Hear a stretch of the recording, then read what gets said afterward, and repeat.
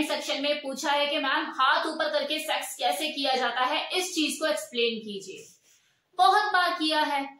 कितनी वीडियो बनी हुई है? इसके ऊपर तो मेरी। एक्चुअली जिस चीज़ को आप मुझसे पूछना चाह रहे हैं कि हाथ ऊपर करके सेक्स कैसे किया जाए, इसे बॉन्डेज कहते हैं।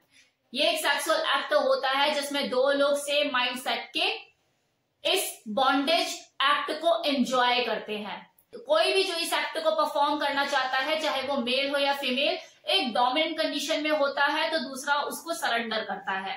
अब मान लो चाहे हस्बैंड एंड वाइफ है तो हस्बैंड अगर अपनी वाइफ के साथ ये बॉन्डेज सेक्सुअल एक्ट करना चाहता है तो वो पलंग के किनारे पर उसके हाथ बाँध के, या फिर पोल के साथ उसे खड़ा करके और उसके हाथ ऊपर बाँध के उसकी बॉडी के साथ खेलता है। उसके अंगों को स्टिमुलेट करता है फिंगरिंग करता है टीज करता है, मज़े लेता है एंजॉय करता है तो ये सारी चीज़ें होती हैं इस बॉन्डेज एक्ट में, जिसमें दो लोग अपनी कला का प्रदर्शन करते हैं। और देखो, इस एक्ट का मज़ा दुगना हो जाता है, खासकर उस वक्त, जब कोई डोमिनेंट मेल अपनी पार्टनर के हाथ ऊपर बांधकर उसकी थाइस के बीच में अपने हाथ देकर उसके कानों में फुसफुसाते हुए बोलता है, ये चीज़ मेरी है यू आर माइंड ये जो शब्द उस वक्त उसके मुँह से निकलते हैं, ये कहीं ना कहीं उसके डोमिनेंस व्यक्तित्व को प्रदर्शित करते हैं और यही चीज़ सुनकर वो जो लड़की ऑलरेडी सरेंडिंग पोजीशन में होती है, बहुत ज़्यादा सेक्सुअली अराउज होती है सरेंडिंग पोजीशन में तो वो वैसे ही होती है, साथ ही साथ टूट के बिखरने भी लगती है। एक ज़बरदस्त एक्सपीरियंस होता है जो सिर्फ़ उस वक्त वो दो लोग ही महसूस कर सकते हैं।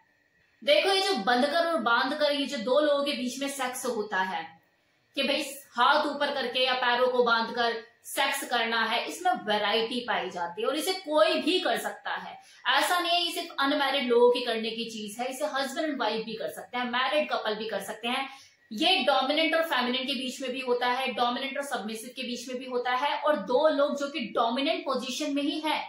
मतलब मेल और फीमेल दोनों ही डोमिनेंट कैटेगरी के हैं, वो भी इसे करते हैं।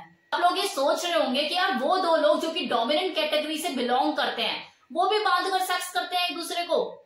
जबकि हमने तो यही सुना है कि यार, एक डोमिनेंट होता है और एक सबमिसिव होता है। तो डियर सच तो ये है कि हर डोमिनेंट पर्सनालिटी में सबमिसिव रूप उसका छुपा हुआ होता है। लेकिन वो नज़र नहीं आता।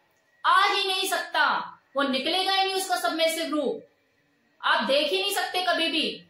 तो ये जो बॉन्डेज एक्ट होता है, जिसमें दो लोग डोमिनेंट कैटेगरी के होते हैं और इसे एंजॉय करते हैं तो उस दौरान वो एक दूसरे को अपना वो सबमिसिव रूप दिखाते हैं।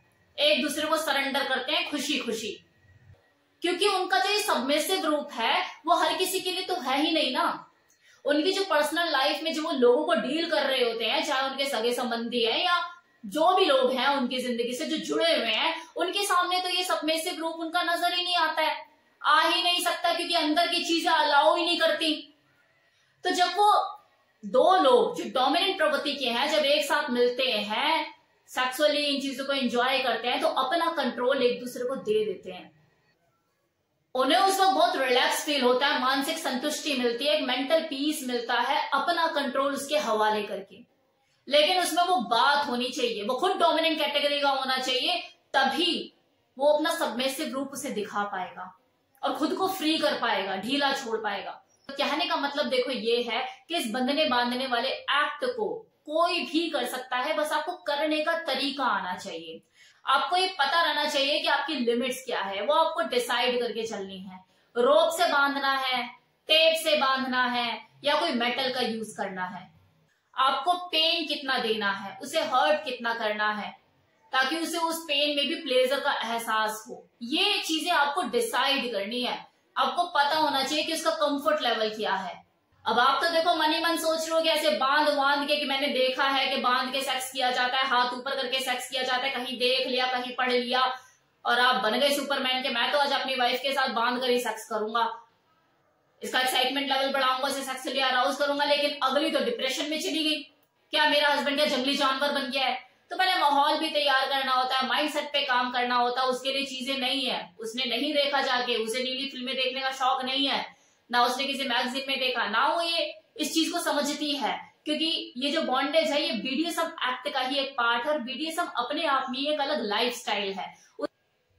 अब उसे तो इन चीज़ों के बारे में नहीं पता। वो तो एक ही तरह का सेक्स जानती है कि हस्बैंड ऊपर और वाइफ नीचे। एक ट्रेडिशनल वे में जो सेक्स होता है उसने तो वही देखा है, वही सुना है, और सब लोग वही करते हैं, उसकी कैटेगरी में जितने भी लोग आते हैं, उसी तरह से सेक्स होता है। आप जो उसके लिए नया कुछ लेकर आए हो, वो तो उसके लिए परे है चीज़ें। ये बीडेसम लाइफ स्टाइल तो ये समझ ही नहीं पाएगी कि क्या है ये चीज़। ये बंधना बांधना, आँखों पे पट्टी बाँध देना एंजॉय करना पेन में प्लेजर का एहसास करना, ये सब चीज़ें उसके लिए नहीं है। तो आपको माइंड को भी प्रिपेयर करना होगा, अपना भी और उसका भी। फिर करने के तरीके भी। एक लिमिट में रहकर ही तो करोगे ना, पूरा बीडीएसएम तो नहीं शुरू कर दोगे ना। वो एरोटिक एक्ट तो नहीं करोगे ना।